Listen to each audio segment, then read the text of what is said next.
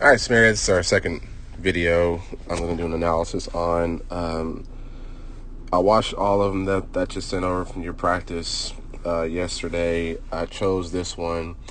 There's some good things going in this video I want to point out, and some things that we will continue to work on uh, as we go forward. But watch it full speed, and we'll we'll get right into it.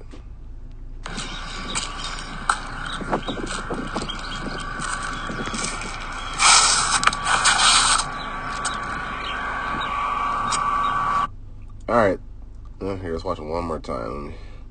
I gotta be sure with with what I'm looking at. Okay. the first thing I notice is, are you being aggressive? Wow, I'm impressed. Yeah, I like this. I like that kind of that kind of grip and rip right here. That's awesome.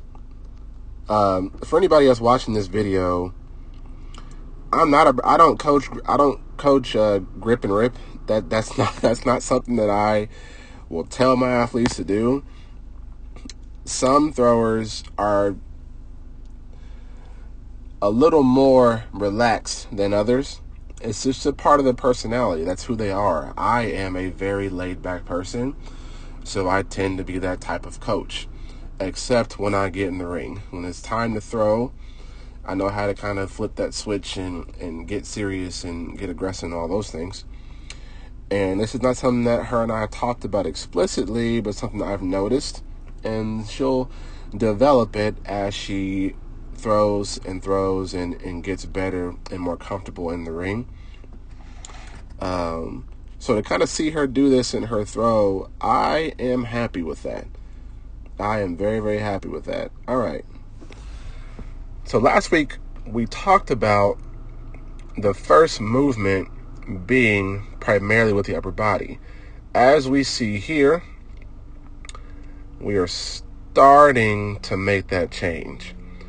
Upper body still initiates the rotation with the shoulders. I like to explain it like a helicopter uh, propeller. It's not necessarily that way for everybody. It's just the simplest way to explain it to younger throwers or throwers who have very little experience, uh, everything works together. Nonetheless, we're opening up that left as our left side, open up the left heel, excuse me, as our left side is moving. And that's awesome. That's closer to what we should be doing. But if our left knee and foot is right here. Let's see if that elbow gets past. Not quite. Elbow gets right about here. Obviously, I have seen the video, so I know that you over rotate. This is for anybody out there. Anytime you don't get the armpit out past the left, you're going to over rotate. It's going to happen every single time. Okay? Anyway, the first part of this though is improving, and that's awesome. We need to make sure that we get all the way left. It all has to get around that first point of rotation. Okay, that's number one. Number two, we do a good job opening. I wish you just lock it in right there.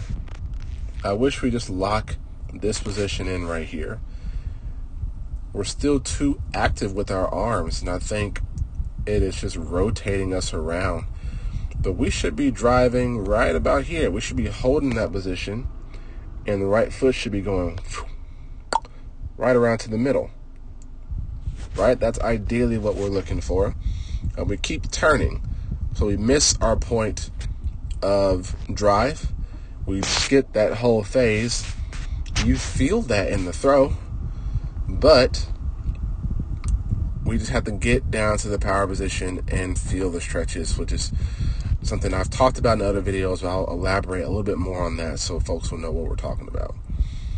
And then our knees are super wide. This is the longest path to get to the power position.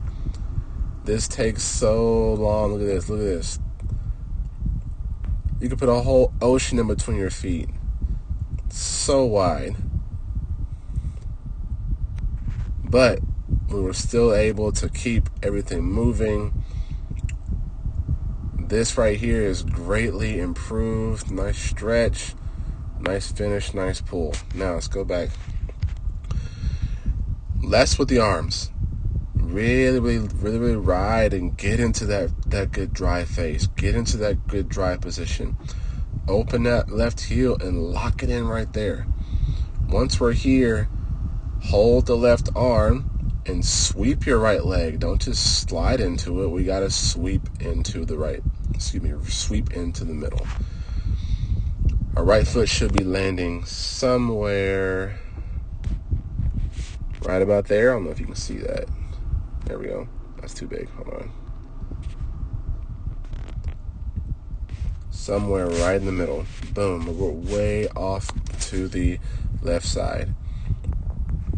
So if you can clean up the back, the timing of the back of the ring, and then get you to the middle, then we can start talking about how to squeeze our knees and move our hips. Okay? We got to make sure that we're cleaning up this back of the ring because we're killing a lot of the rotational and um, horizontal speed across the ring that we can get and add to our throw.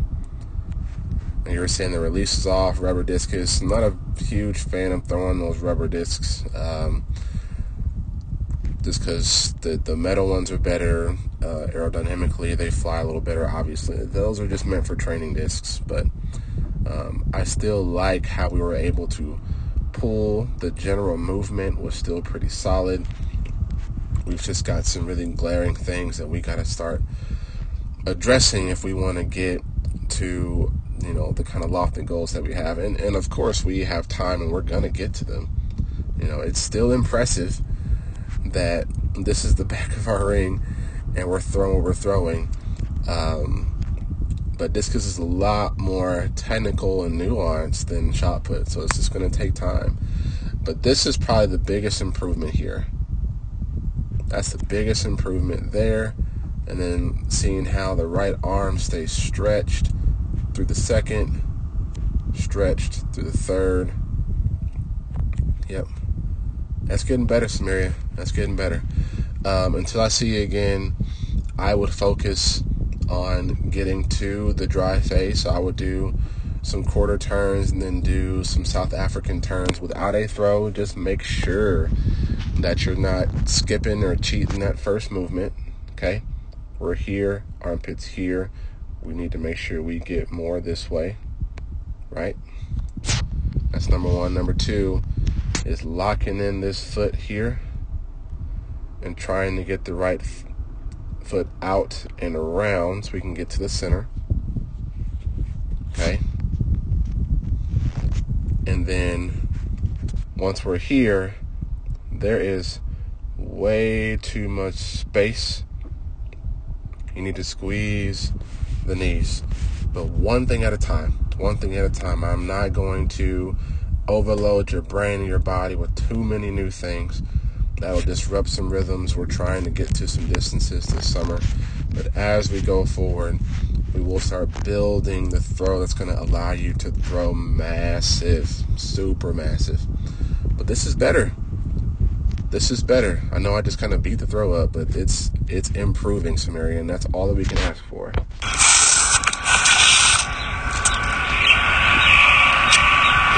All I can ask for. Nice job, bro. Keep it up.